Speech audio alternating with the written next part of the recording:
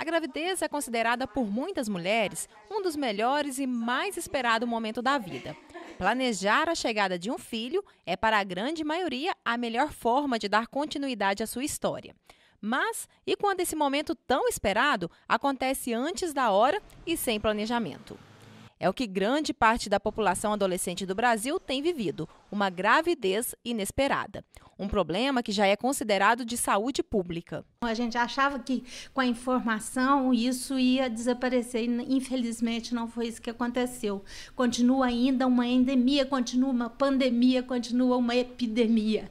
E é, é, é uma gravidez na adolescência, o corpo da mulher ainda não está totalmente preparado para isso. Então, podem haver complicações. É uma gravidez de alto risco, com aumento de pré-eclâmpsia, celulites e, especialmente, dos problemas socio sociológicos e psicológicos que essa pessoa vai enfrentar. Grávida de seu quarto filho, Gisele foi mãe aos 15 anos. A dona de casa conta que, mesmo com a pouca idade, a gravidez foi planejada e que, na época, pôde contar com o apoio da família e do marido mas ela assume que a chegada do primeiro filho provocou mudanças em sua adolescência. Tive que parar de trabalhar, né, de fazer cursos, no estudar eu continuei, mas mesmo me atrapalha muita coisa, né, de ficar só por conta do bebê mesmo, das crianças mesmo.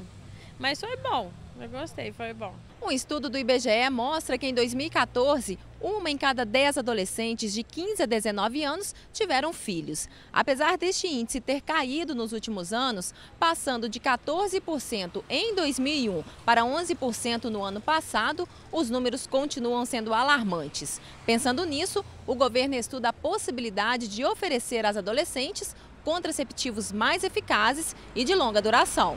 O que o governo quer é oferecer métodos que não dependam de consumo diário, como é o caso das pílulas anticoncepcionais. A ideia é disponibilizar duas opções, um implante subcutâneo e o outro semelhante ao DIL, um dispositivo intrauterino. A duração pode ser de 3 a 5 anos. Para esta médica ginecologista, a oferta pode ser uma boa ideia, desde que todas as adolescentes tenham conhecimento dos prós e contras dos medicamentos existem pessoas que não devem usar Implanon. Ele, elas serão selecionadas pelo médico. Entretanto, são poucas as contraindicações, existem mais indicações, visto que é só de progesterona, portanto, os efeitos colaterais que existem do etinil estradiol não existem no Implanon. Ou seja, trombose não acontece com Implanon né? É, outros tipos, por exemplo, influenciar câncer de, de mama, também não, porque não é um estrogênio, é um progestágeno puro, né?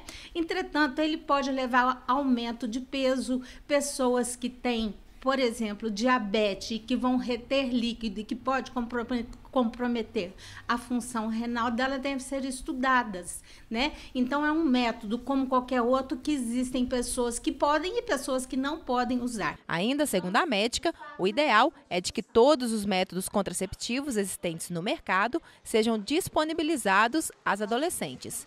Para Gisele, que foi mãe muito cedo, estimular e incentivar as adolescentes ao uso de qualquer método é uma boa opção para evitar uma gravidez precoce. Aí eu acho bom, porque previne muita coisa também, né? Aí não tem filho novinho, quem cuida é os pais, elas nem ligam, mas né, eu acho bom.